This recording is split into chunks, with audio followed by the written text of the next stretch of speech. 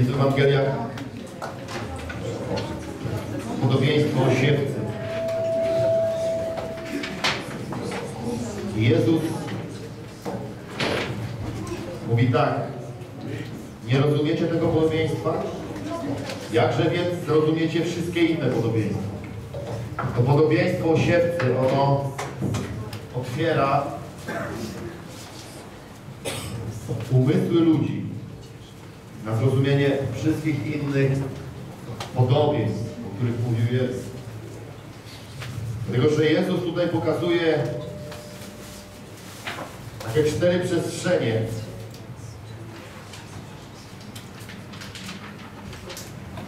Pokazuje pierwszą przestrzeń człowieku.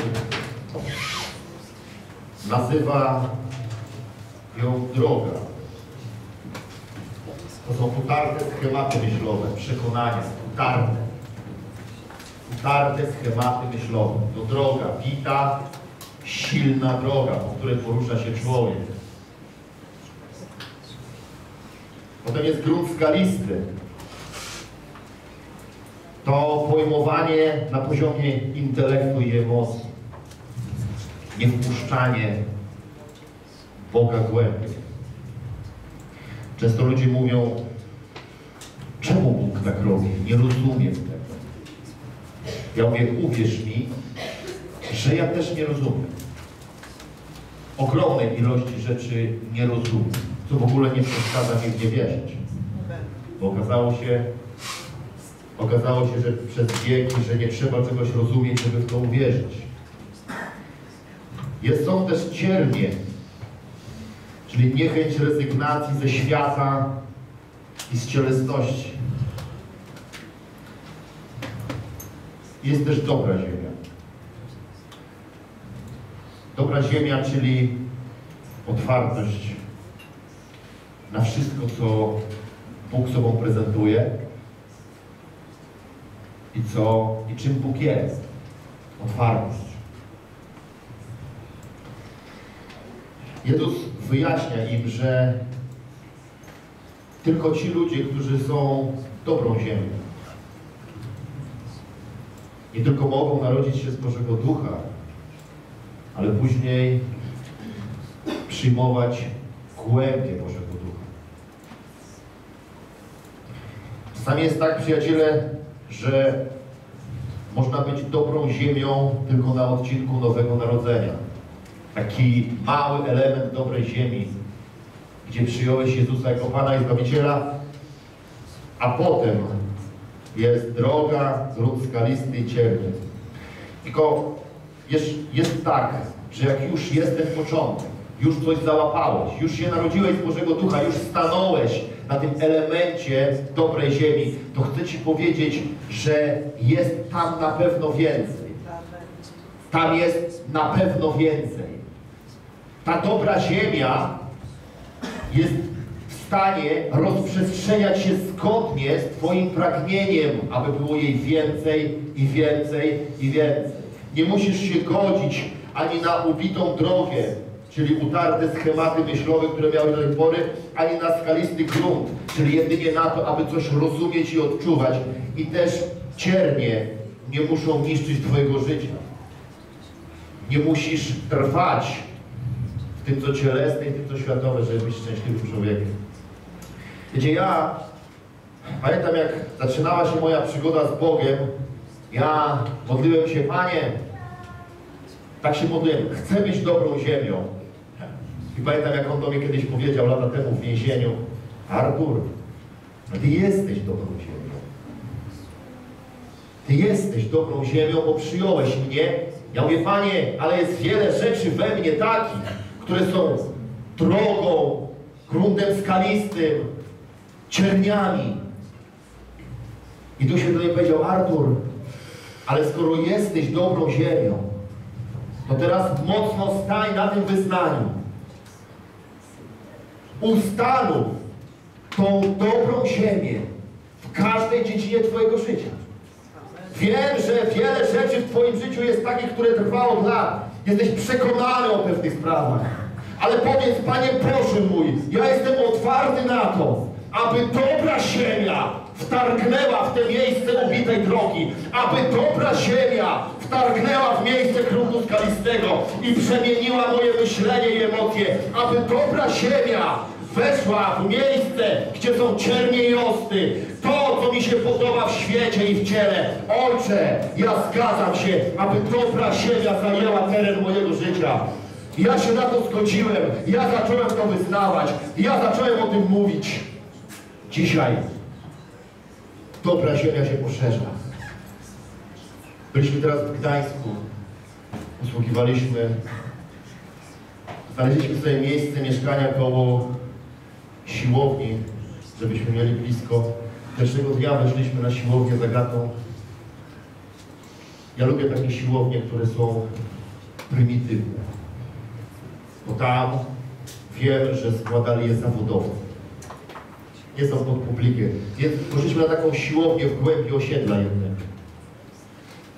Weszliśmy tam i stał, ćwiczył sobie taki człowiek mniej więcej w wieku około 60 lat, wagi około 120 kg i o twarzy, która wyglądała w ten sposób, jak w filmie Pluton.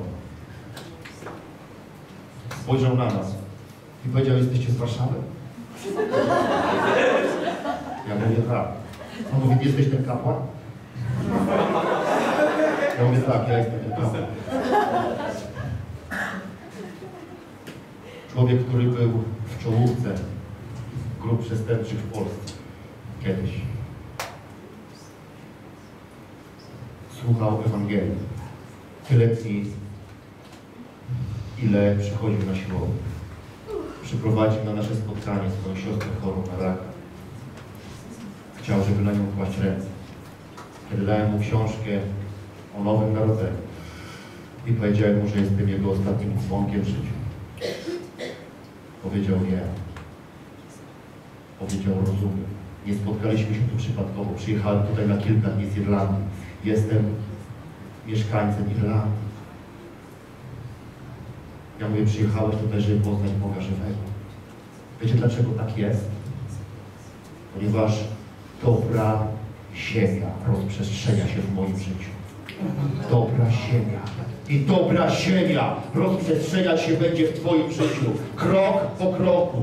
Krok po kroku. Jak będziesz się dzisiaj modlił, powiedz Panie Boże mój, każdy element mojej duszy i ciała poddany jest Tobie. Jestem dobrą ziemią. Jestem dobrą ziemią. Ojcze, uwielbiamy Ciebie. Ty, który nas stworzyłeś na swój obraz i podobieństwo.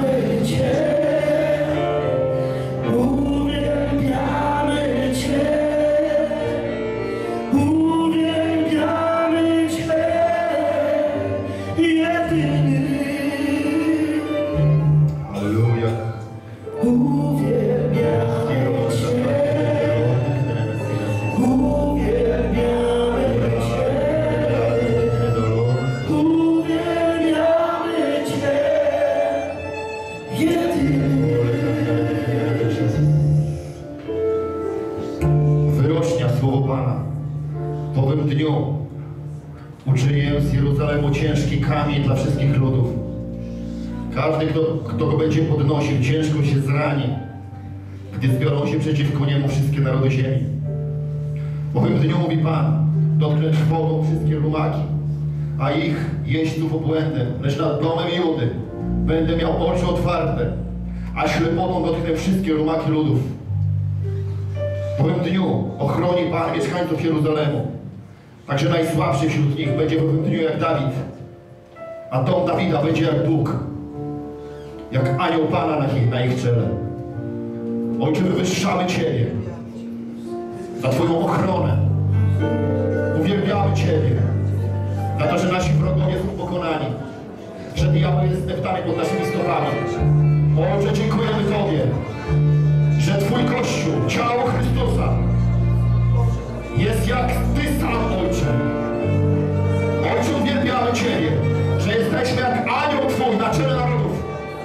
Ojcze, my wyższamy Ciebie, że wszelkie zamysły naszych wrogów są zniweczone. Uwielbiamy Ciebie, że Twoja ręka jest nad nami, że nas chronisz i bronisz, że błogosławisz i darzysz życie, że w Chrystusie Jezusie jesteśmy jak Ty. Uwielbiamy Ciebie, potężny Boże nasz, że nie ma dla nas rzeczy niemożliwych, że nie ma takiej sytuacji,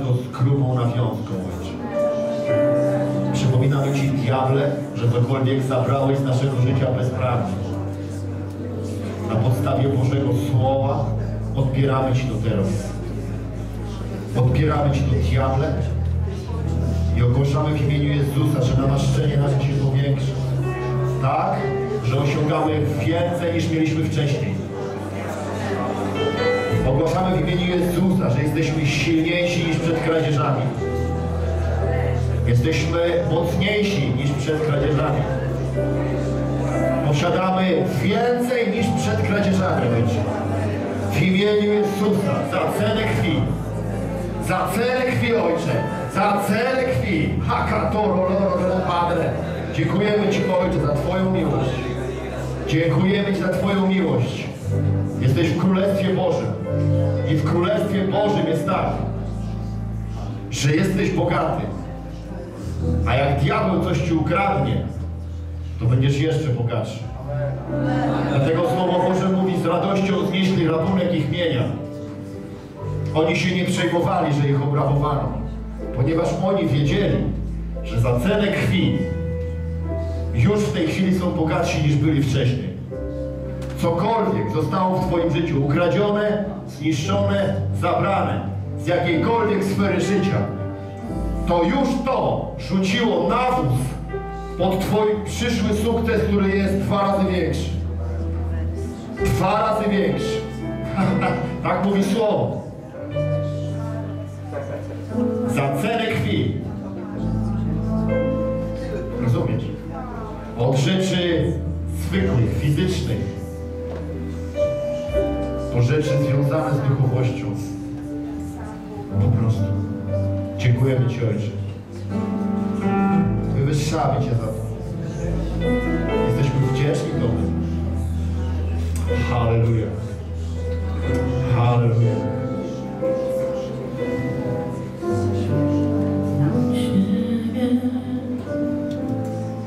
Przychodzę,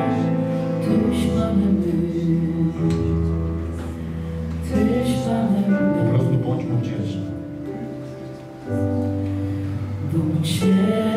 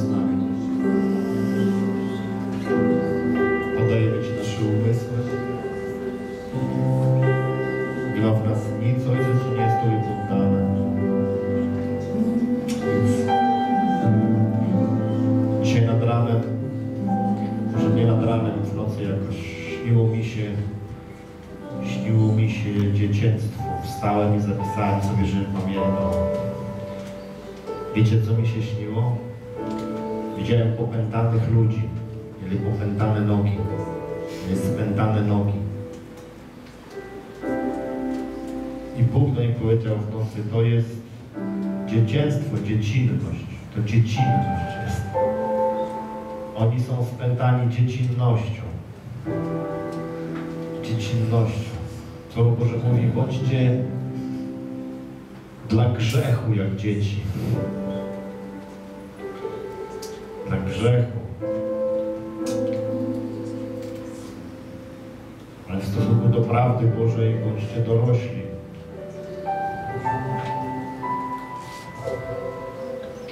Dorośli. Dzieciństwo, dziecinność pęta. Ochotę albo nie ma. Chce mu się albo mu się nie chce.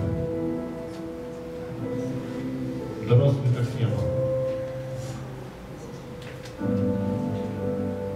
Dorosły człowiek nie ma nikogo nad sobą, kto każe mu wstać rano iść do pracy. Dziecko ma rodzica, który mu każe iść do szkoły. Ale ten sam rodzic nie ma nikogo, kto mu każe iść do pracy. Trzeba być po prostu dorosłym. Wiedzieć, że się jedzie do pracy. Jest taka warownia, warownia dziecinności. Zespół demoniczny, który chce, żeby ludzie byli utrzymywani w takim stanie nieodpowiedzialności.